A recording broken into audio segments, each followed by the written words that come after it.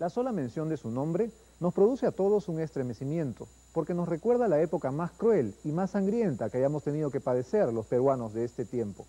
A inicios de los 80, su rostro se instaló en las páginas policiales, siempre acompañando las noticias más asiagas, y todo lo que sabíamos de él es que era un modesto profesor provinciano, que quiso convertirse en la cuarta espada del comunismo mundial y liderar una gran revolución. Pero todo lo que consiguió fue desencadenar una espantosa orgía de sangre y de dolor. Pero ¿quién es el hombre que se oculta detrás de esta leyenda siniestra? ¿Cómo fue su barrio, su escuela, su familia? ¿Quiénes fueron sus amigos, sus maestros, sus amores? Esta es la vida secreta de Abimael Guzmán.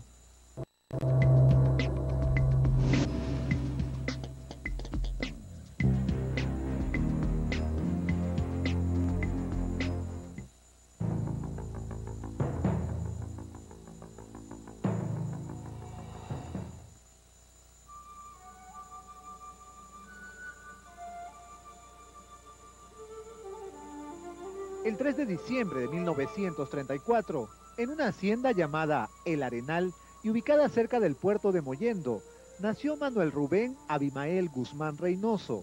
Su padre era Abimael Guzmán Silva, el encargado de pagarle los sueldos a los peones de la hacienda y un hombre dedicado en cuerpo y alma a enamorar a todas las chicas de la zona. Yo trabajaba con el papá. ¿Y qué labor hacía? ¿Qué labor hacía? Era contador de la hacienda Benito Núñez. ¿Cuándo es que ya él forma su familia? ¿Tiene conocimiento usted de eso? No, ya yo cuando lo conocí ya él tenía su familia, ya. Él tenía varios hijos. Por afuera, pues él está conversando Claro, con Benedicto, por afuera. son, el, Abimael no es hijo de matrimonio, es, es hijo de afuera. Tras un furtivo romance con una mujer llamada Berenice Reynoso, ella salió embarazada. Por eso, nueve meses más tarde, el pequeño Abimael fue inscrito en el Consejo Provincial de Islay por un amigo de ella.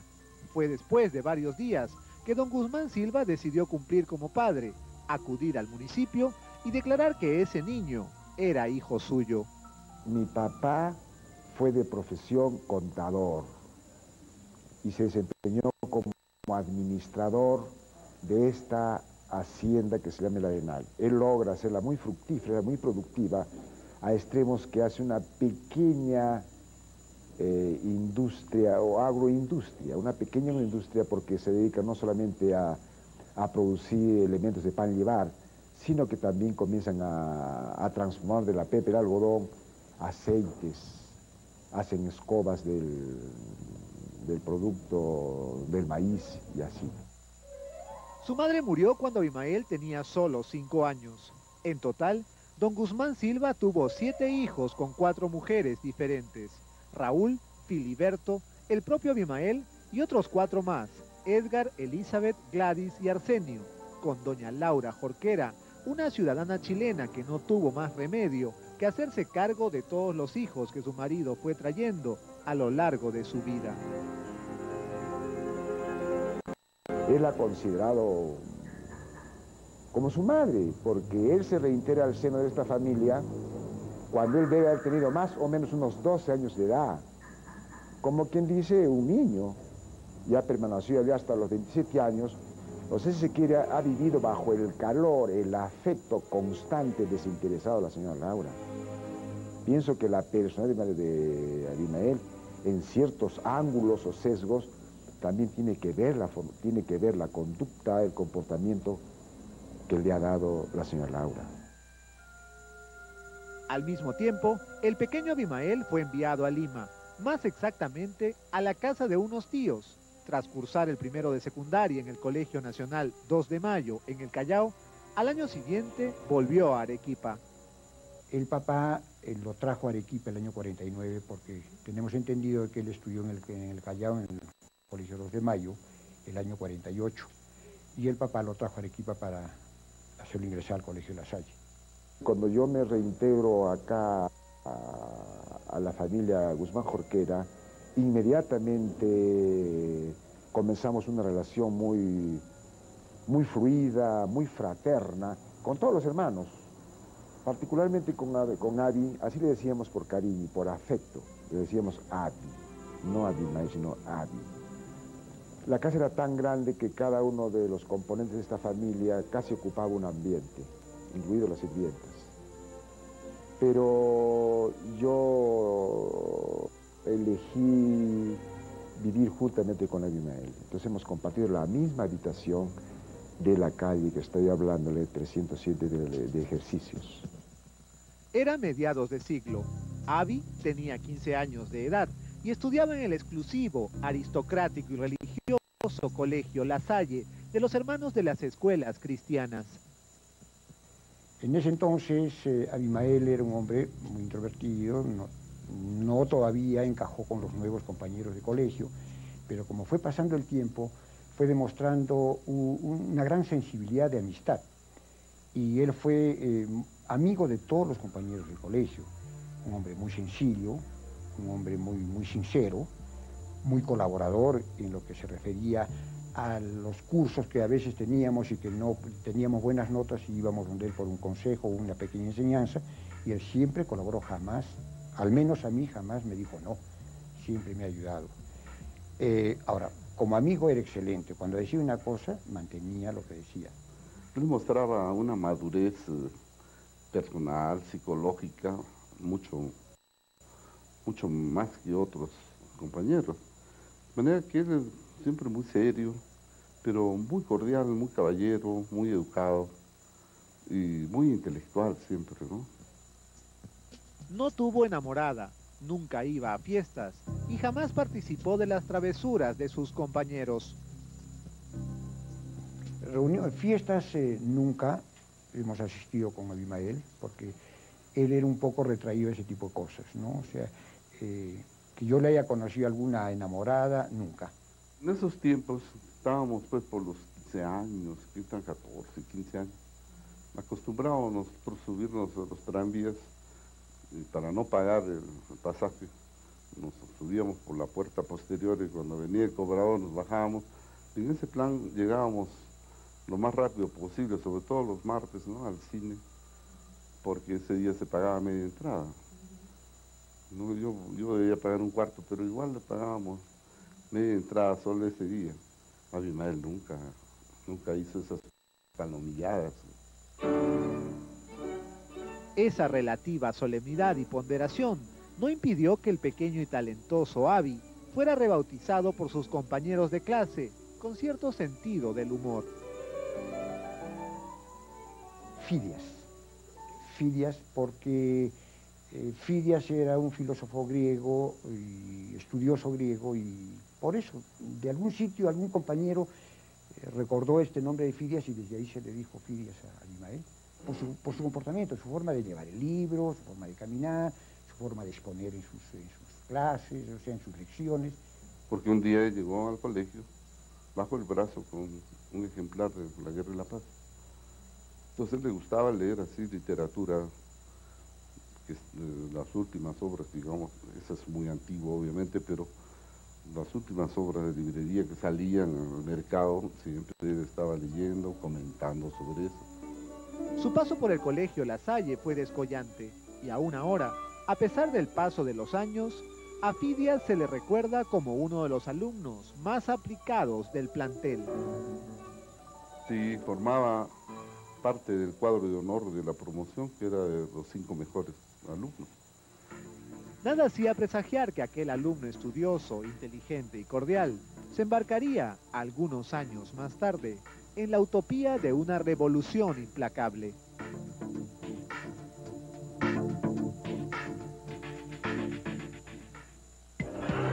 Al regresar, su ingreso a la Facultad de Letras de la Universidad San Agustín. Yo no había percibido en ningún momento que él, digamos, eh, tuviera una inclinación política definida. Sus coqueteos con el Partido Comunista arequipeño.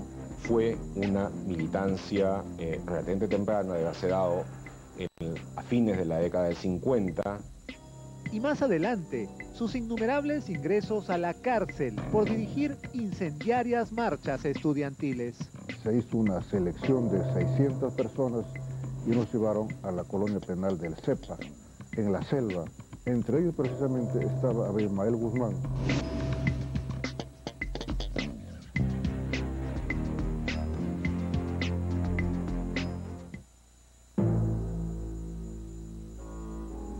A comienzos de los 50, la Universidad Nacional San Agustín de Arequipa no solo era el principal centro de estudios del sur del país, era también un hervidero político de izquierda.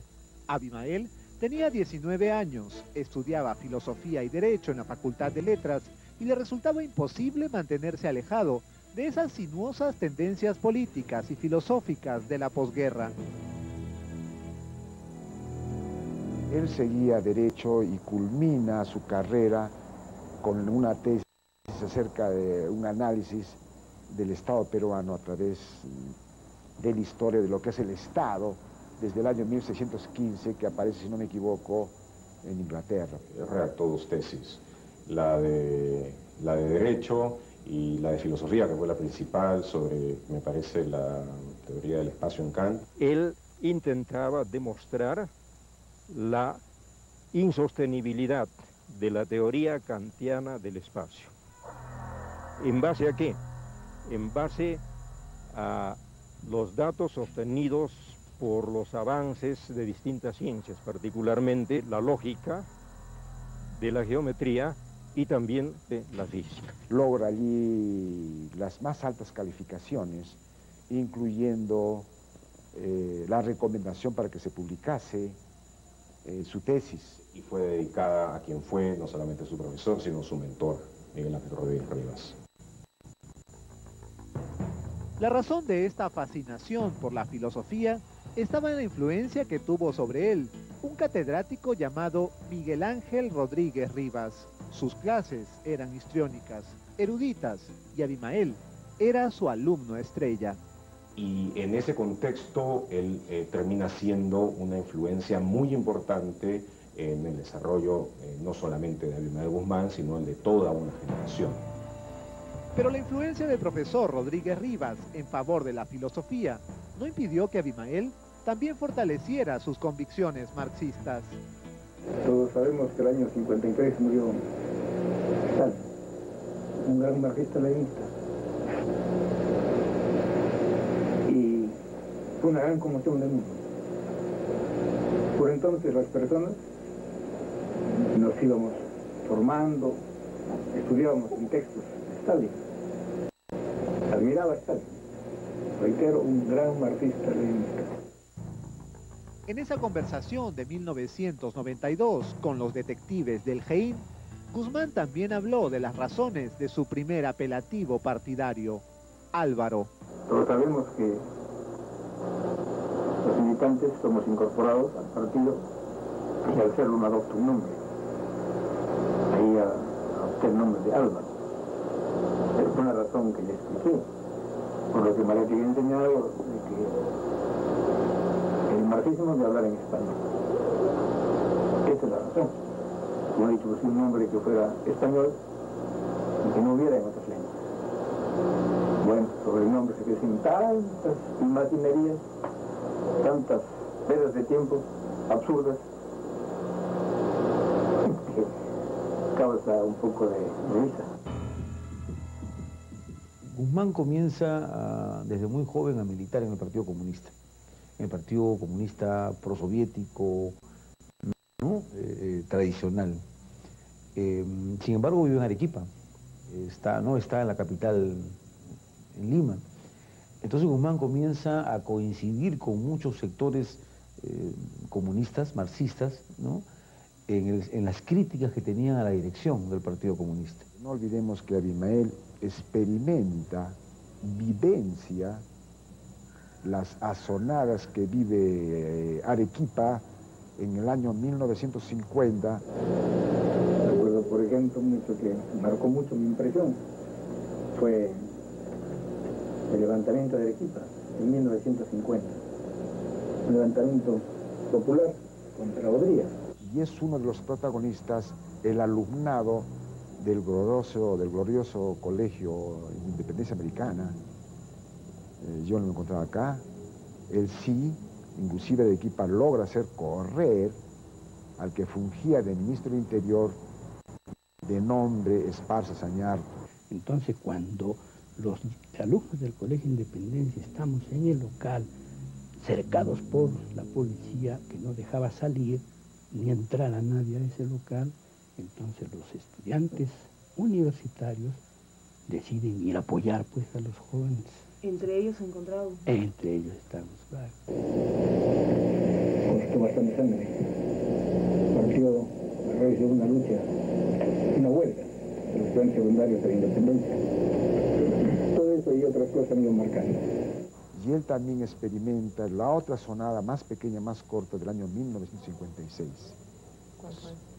Entiendo yo que estos dos momentos históricos mm, arequipeños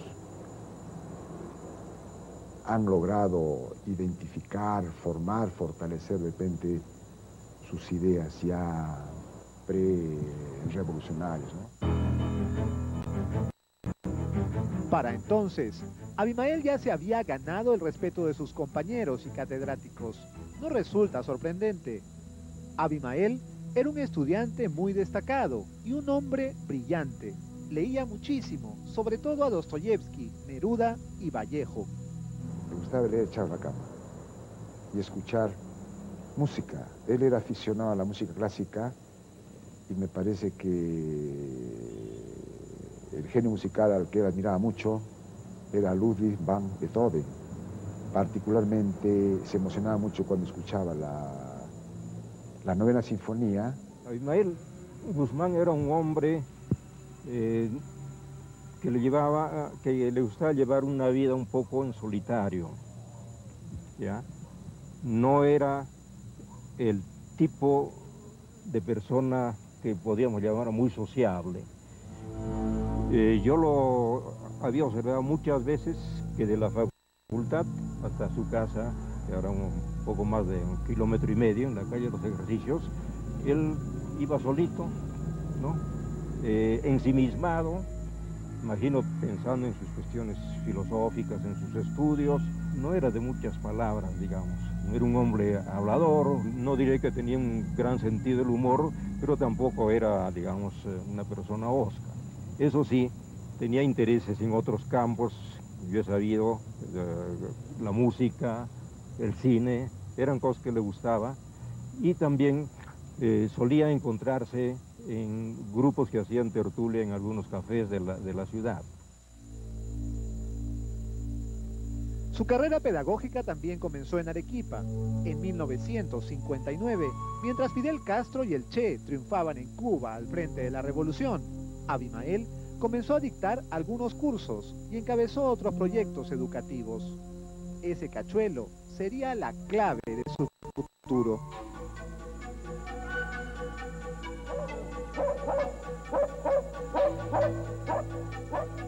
Fue por eso, por su breve pero contundente experiencia académica, que años después pudo trasladarse a Ayacucho. Debido a la pobreza, el atraso y el aislamiento, esa zona del país se había convertido en el escenario ideal para emprender su desvariado proyecto político. En el año 60, algunos profesores de, Lima, etcétera, habíamos concurrido a Huamanga como catedráticos a raíz de un concurso que se, hizo público. Entonces, yo estuve un año allí y al volver a Arequipa me encontré con Abimael, que fue mi alumno en San Agustín. Entonces él conversábamos y me preguntaba qué tal era Huamanga, etcétera, ¿no? Y yo le hice conocer mi opinión en el sentido de que quien no sale de Lima o de Arequipa o de Trujillo no conoce el Perú. Que una de las maneras de conocer el Perú era conociendo la sierra. Eh, era mi opinión. Y que él compartía esta idea y un tiempo después él estaba concursando también Universidad de Huamanga. Lo que el profesor Armando Barreda no podía saber es que esa decisión del flamante camarada Álvaro cambiaría definitivamente la historia del Perú contemporáneo. Guzmán ha liderado en Arequipa un proceso de reforma, un proceso de reforma educativa, ¿no es cierto que al decir de, los intelectuales de aquel entonces era positiva, era bueno. Eh, y Guzmán es inspectorado de la universidad, lo, lo echan. Y creo que le reducen de, no sé si de 20 o 40 horas a 6. Esto lo comenta un poco disgustado en la casa, se lo comenta a la señora Laura, y la señora Laura le dice de que para qué se preocupaba, que eso iba a ser pasajero, y que en la casa tenía todo y no tenía por qué preocuparse. Y él le contesta que era cuestión de honor. Y decide ir a Ayacucho contratado por el señor Morete de. En ese tiempo se ha reabierto la Universidad de Guamán. El doctor Morotevich consigue de todo el Perú a los jóvenes más brillantes. De acá de Arequipa se van como seis. Mm, Abimael Guzmán y otros jóvenes más, abogados.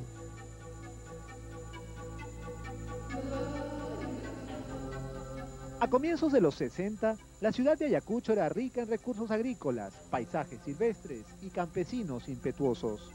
A la vez, era una de las zonas más devastadas por la miseria. Hasta allí llegó Abimael Guzmán, el nuevo profesor de filosofía de la Universidad de Huamanga.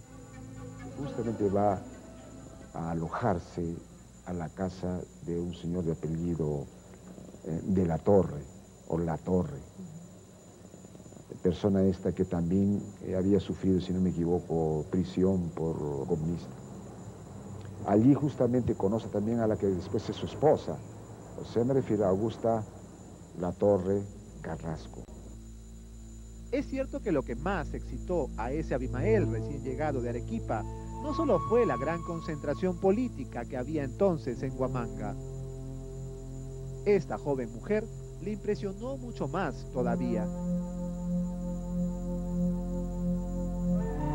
Yo pienso que el doctor Guzmán la conoce a ella en la universidad, pero eh, de repente mayor vinculación tienen cuando él es amigo, se hace amigo de los papás de Augusta, del señor Latorre. Y yo recuerdo que el doctor se pensionó en la casa de ellos, tomaba sus alimentos ahí. Y lógico, ya la amistad era más, eh, más profunda, más estrecha. Pero Augusta no era solo una aplicada estudiante ayacuchana de educación. Era guapa, inteligente y tenía agudos pensamientos políticos e intransigentes ideales revolucionarios el doctor le llevaría por lo menos mínimo, mínimo, con unos 18 años. Muy bonita, de ojos lindos, como toda chiquilla, un poco desalineada en su vestimenta, ¿no? A ella no le importaba ponerse cualquier color de falda y cualquier color de blusa, ¿no? No, buscaba eso que, que, le dé esto con el otro, bastante descuidadita, pero este, como amiga muy buena. Más que nada abierta, sencilla, franca. En 1964, Abimael, o Álvaro, como ya se le conocía en el Partido Comunista, se casó con esa mujer que, con los años, asumiría la identidad de la camarada Nora, la legendaria número 2 de Sendero Luminoso, quien tendría un trágico y oscuro final. Sí, ahí está bien.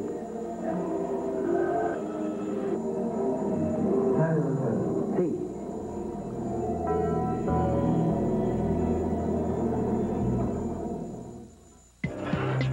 Al regresar, sus primeras luchas sindicales en Huamanga. En el caso de Guzmán, él rindió un culto exagerado al problema de la violencia. Hizo de la violencia casi la razón de ser de su manera de pensar y entender la revolución.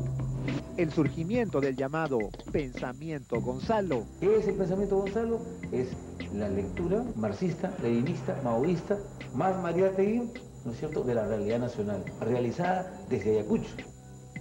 Y más adelante, el inicio de la lucha armada en las alturas de Chuschi.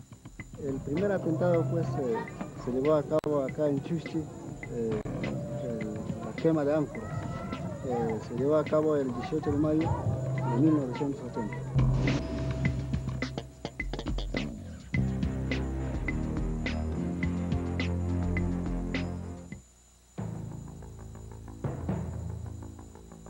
Era mediados de los 60 y las diferencias ideológicas en la Universidad de Huamanga eran absolutamente irreconciliables entre dos bandos comunistas.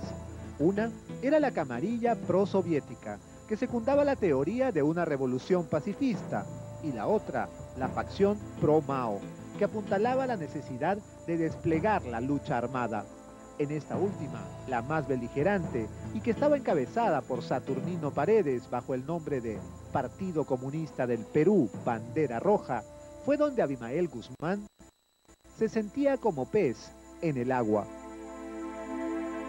Nosotros venimos de un tronco común, que es el partido fundado por Mariate en 1928.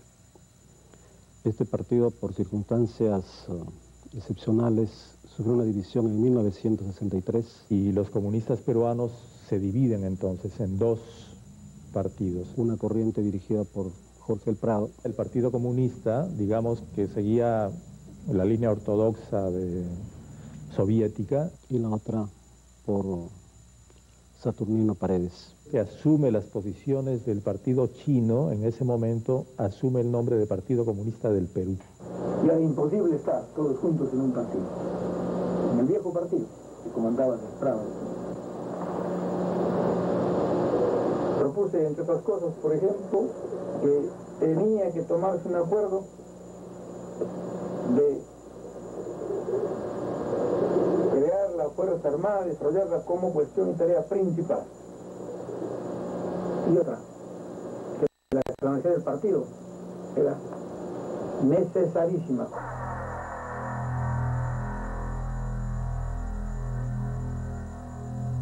En 1963, el joven Abimael, el camarada Álvaro, fue detenido de manera aparatosa.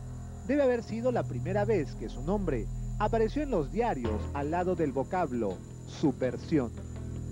El gobierno militar de entonces que presidía el general Pérez Godoy, pretextando que los hombres eh, y la población de izquierda preparaban un, un complot contra el gobierno, desató una redada que se llevó a cabo el 5 de enero de 1963. Nos trajeron a Lima de diversas provincias, cerca de 2.000 peruanos, eh, jóvenes eh, universitarios, dirigentes sindicales, eh, dirigentes políticos, nos reunieron en varios cuarteles aquí en Lima y de los 2.000 presos que resultamos en aquella fecha, se hizo una selección de 600 personas y nos llevaron a la colonia penal del CEPA, en la selva. Entre ellos precisamente estaba Abimael Guzmán. No nos fijamos mucho en Abimael Guzmán porque prácticamente no había tenido ningún protagonismo. No llegaba al CEPA por un alzamiento, por un mitin, por una huelga en, en Arequipa o donde él hubiese estado. Fue un preso más. Para entonces, Abimael Guzmán ya tenía varias identidades. Le decían Álvaro en el Partido Comunista y Champú en la universidad, porque en sus clases literalmente les lavaba la cabeza a los alumnos del curso de filosofía. Imponía rajatabla, contra la opinión general de la inmensa mayoría. La juventud es rebelde. Si los jóvenes son rebeldes, no serían jóvenes, No es malo que los jóvenes sean rebeldes, es bueno. Joven que no es rebelde, pues es honesto, salesiano. Están pateando el alma. Tiene que ser brioso, enérgico, fuerte. Pero es futuro, pues. Y He sido partícipe directo. Dice que las palabras, y al cabo, por mucha razón que se tenga, quedan aplastadas simplemente. Al mismo tiempo, Álvaro formó una combativa alianza con la facción pro-china Bandera Roja de Saturnino Paredes y empezó a entretejer alianzas estratégicas con otras agrupaciones políticas ayacuchanas. Abimael Guzmán, con Saturnino, eh, estaban muy juntos porque para entonces eh, Saturnino también levantaba la, la tesis de la lucha armada por el campesinado. Abimael viajó a la China en 1965. Allí se sumergió en la filosofía comunista y en sus más recalcitrantes teorías. De regreso, fue nombrado secretario general de Bandera Roja, decidió tomar las riendas de la organización y empezó a gestar de manera decidida el inicio de la lucha armada. Paralelamente, el rector de la Universidad de Huamanga, Efraín Morote Best, padre de un futuro líder senderista llamado Osman Morote Barrio Nuevo, lo nombró jefe de personal. Gracias a su nuevo cargo, expulsó a sus adversarios y contrató a sus incondicionales. Divergencias internas hizo que nos dividiésemos en el año 69. A partir de entonces eh, inicia su vida el Partido Comunista del Perú Patria. El grupo de, de Paredes continúa también su propio proyecto y dentro de él sigue participando Guzmán. Más tarde, en 1971, 72, se dividen y Guzmán constituye su propia organización teniendo como base fundamental Ayacucho. ¡Viva el Perú, señores! En 1969, un año después de que el general Juan Velasco Alvarado derrocara al presidente Fernando Belaúnde Terry y tomara el poder, el gobierno revolucionario de las Fuerzas Armadas sembró uno de los principales gérmenes para la creación de esa bomba de tiempo llamada Sendero Luminoso. Restringió los alcances de la gratuidad de la enseñanza. En Ayacucho, esa medida fue rechazada de inmediato por la población. La ciudad fue tomada por los agitadores y las fuerzas del orden reprimieron las revueltas con excesiva rudeza. Hubo decenas de muertos, centenares de heridos y miles de detenidos. Guzmán fue uno de los activistas más entusiastas y también, por cierto, de los primeros en ser arrestados. Abimael había sido capturado a partir del 69 en dos ocasiones, relacionadas entre sí, ambas a las eh, protestas que hubo en Ayacucho, aquel paro grande, seguido de los eh, desórdenes que hubo tanto en Ayacucho como en Guanta, con las muertes de estudiantes que se produjeron. En fin, él fue entonces capturado primero en 69 y luego en una segunda ocasión como consecuencia de la primera en 1970. Guzmán decía que la prisión era un accidente de trabajo.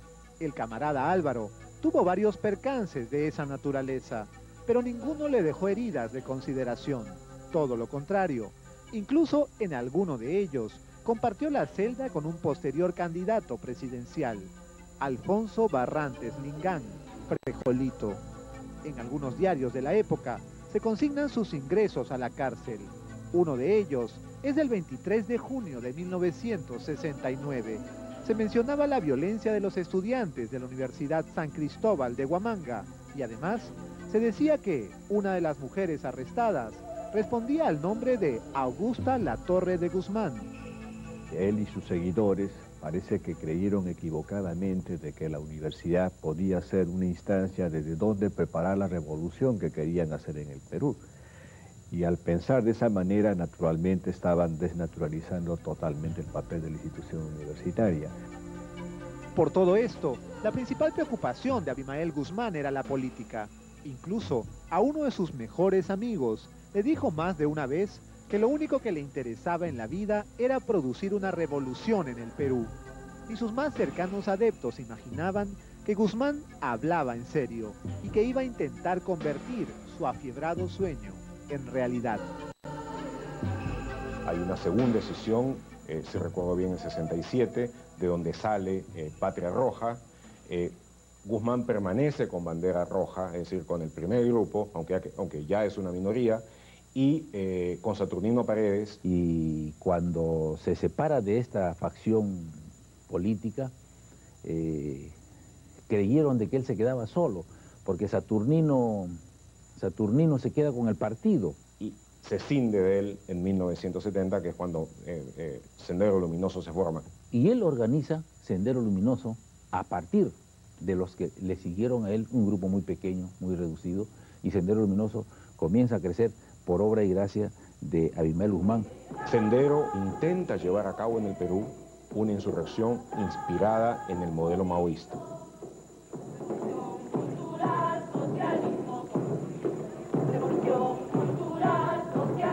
Para eso, ideó el denominado Pensamiento Gonzalo.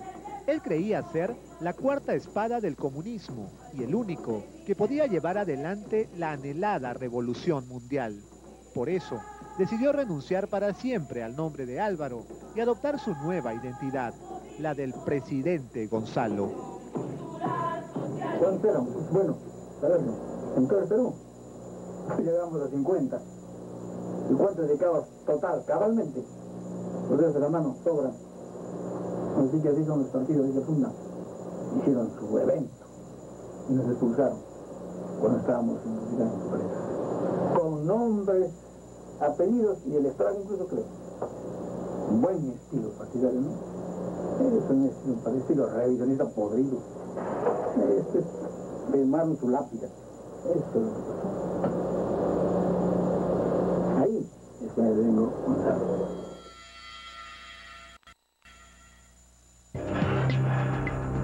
Al regresar, el inicio de la lucha armada. Llegaron y empezaron a perseguir a todos, los pobladores de este distrito. ¿A quién apoyar? Al otro, al otro. Y el paso a la clandestinidad del camarada Gonzalo. Se había hecho una despedida en la Universidad de San Marcos y que se iban, se iban pues, eh, como quien dice, al monte, ¿no?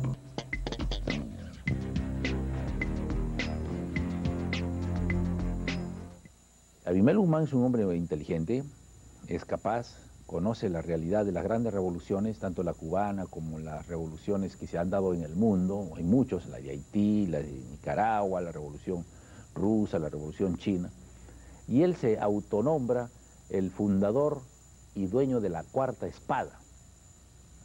Yo soy la cuarta espada del movimiento revolucionario comunista del mundo. Cuando ya empieza a desarrollarse la mitología y, entonces empiezan a surgir eh, eh, canciones y lemas y, todo aquello, pues sí, se empieza a hablar este, de las tres espadas fundamentales del marxismo, Marx, Lenin, Mao, y la cuarta espada que empieza, eh, que empieza a ser Guzmán.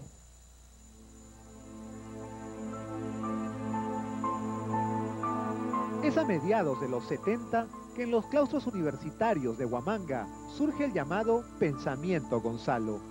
Esta teoría, que intentaba adaptar los fundamentos políticos de Mao Zedong a la realidad nacional, fue clave para otorgarle a la inminente guerra popular senderista un sentido doctrinario.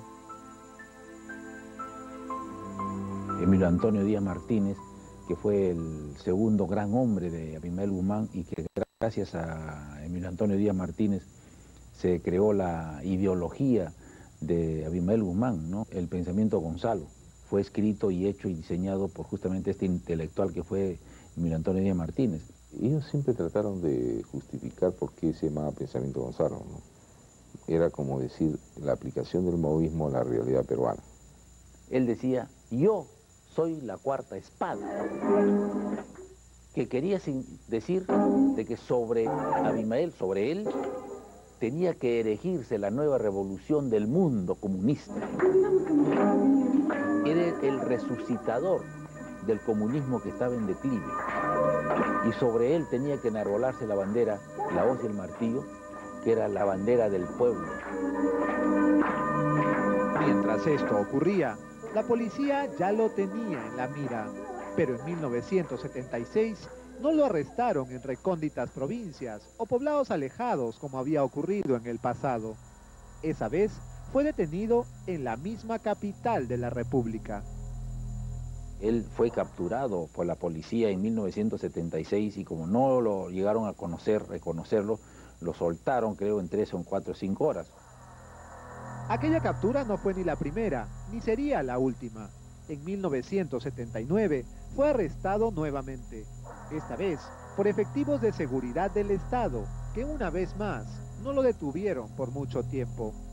Hay un grupo de seguridad del Estado que debía capturar a Ricardo Letts y que de paso va por eh, Jesús María, llega a Pershing, captura a Guzmán, lo llevan a seguridad del Estado.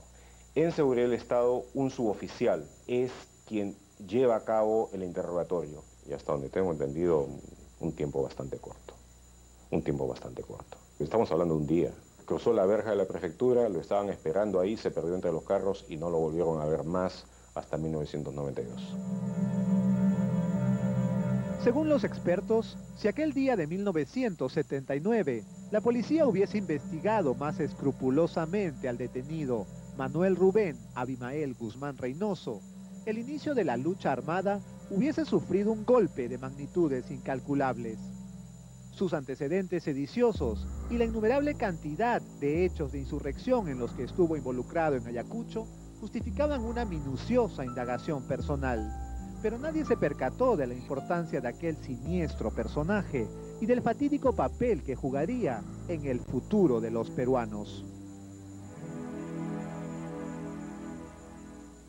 Abimael Guzmán entra a la clandestinidad en 1979 y desde entonces desapareció de la escena y se convirtió casi en un mito, era inubicable, ¿no? incluso se especulaba que había fallecido.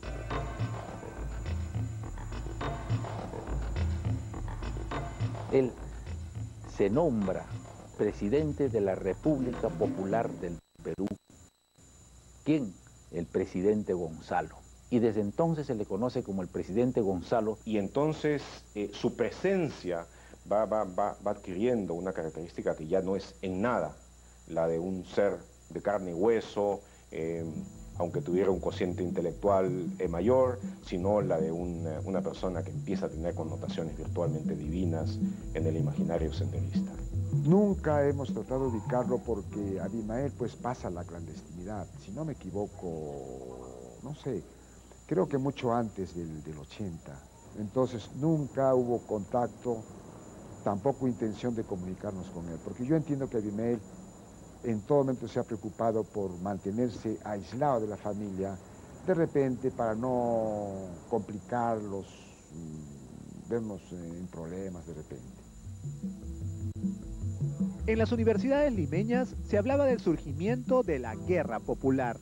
En algunos caminos de la sierra se veía constantemente a campesinos armados y la policía ya tenía informes de inteligencia que reportaban agitación y propaganda comunista en ciertos poblados. Se trataba del ILA, el inicio de la lucha armada, dirigido desde la clandestinidad por Abimael. El inicio de la lucha armada no se da el 18 de mayo, se da el 18 de abril, un mes antes, en donde realmente se gradúan en una graduación formal donde le entrega el diploma a, a los 18 militantes que inician la lucha armada. Entre ellos está Eleni Parraguirre, entre ellos está Morote, está Emilio Antonio Díaz Martínez, Mesich y Feliciano. Escuchaba, ¿no? La lucha armada, vamos a hacer cambios, este, la estructura del gobierno está mal, por lo tanto tenemos que luchar. Eh, de ahí empezó pues la violencia. Llegaron eh, jóvenes eh, ¿no?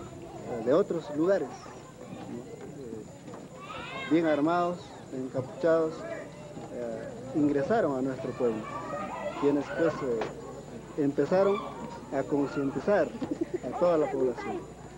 Poco a poco acá la gente fueron pues dominados, como se dice, aquellos muchachos, aquellos jóvenes que llegaron, algo desconocido. Entonces, de allí eh, ya la gente, bien ya empezaron a participar. Fue exactamente el 17 de mayo de 1980 que Sendero Luminoso le declaró la guerra al Perú.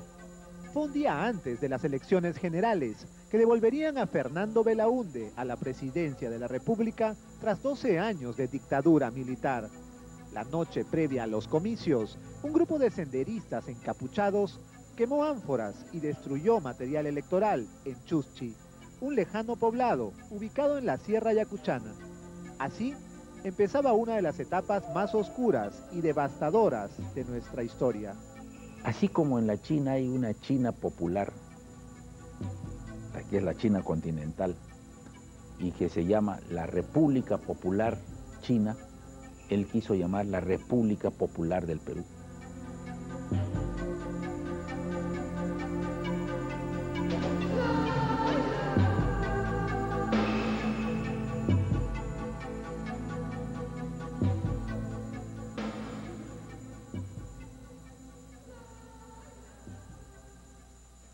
Esa profunda vocación intelectual que exhibió desde niño y que lo llevó a convertirse en un brillante académico y que además le permitió encontrar al amor, pudo haberlo elevado a la dimensión de los más grandes pensadores peruanos si no hubiera tomado la decisión de poner su innegable inteligencia al servicio del crimen y del terror. Más sorprendentes revelaciones de la biografía de Ismael Guzmán en la segunda parte de esta historia. Hasta la próxima edición de Vidas Secretas.